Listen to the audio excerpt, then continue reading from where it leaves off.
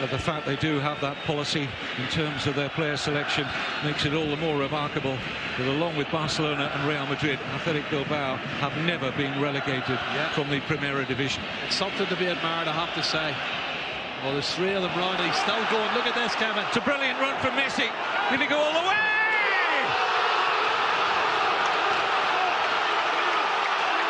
It's one of